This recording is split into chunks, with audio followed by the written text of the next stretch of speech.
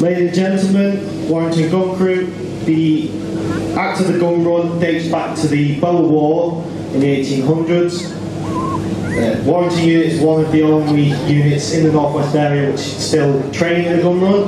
Uh, so today we'll show you what we do, how we do it, and yeah.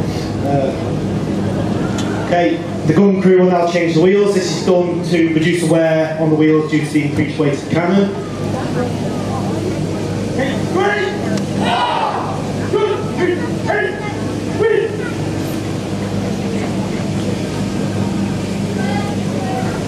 So as you can see, the pins are removed.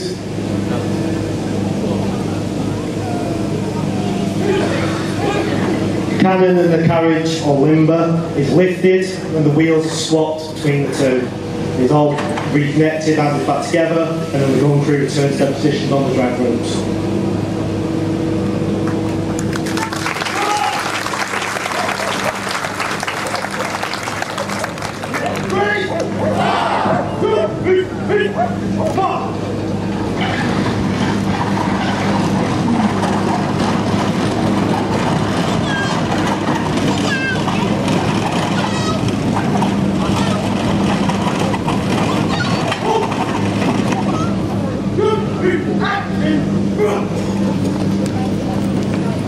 When the team encounters an enemy to the front, to the left, to the rear, or to the right, they will detach the cannon, aim it towards the enemy, fire off three rounds, and then do a tactical retreat, going back in the opposite direction.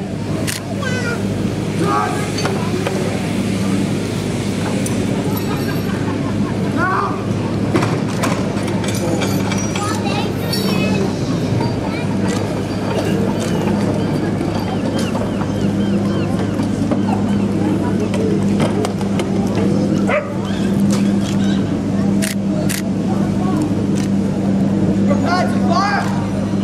Fire! Retreat!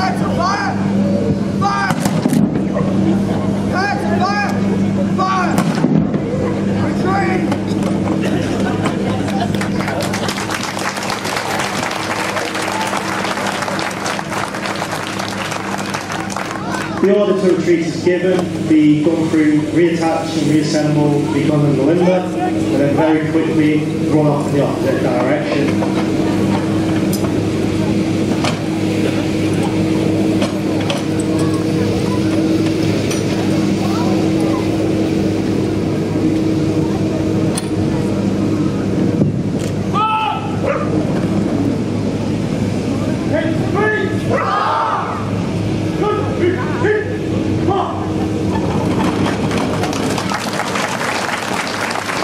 Once more, the wheels have to be changed. Let's see how fast they can do it. Come on guys, cheer these guys on, give them some encouragement.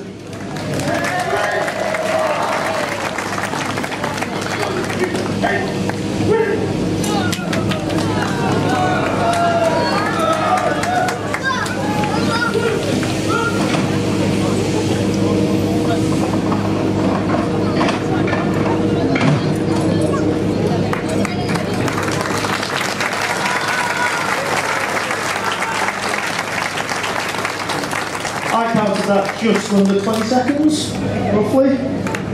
The unit record, we've had it lower than 12. Ladies and gentlemen, Warrington Gun Crew. Big round of applause, ladies and gentlemen.